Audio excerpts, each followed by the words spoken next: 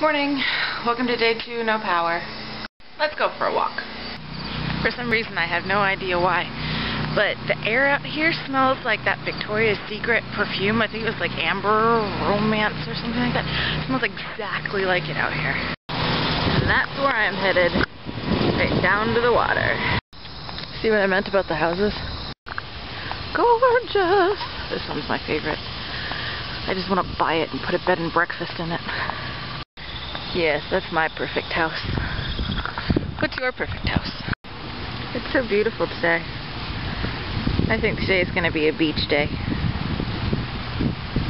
The sad part is I never see anybody in these houses. It's so interesting. Look at that. The architecture in that is awesome. Hi puppy. Stay cool. Still lots and lots of cleanup.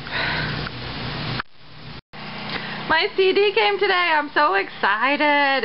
It's the first time I've ever won anything.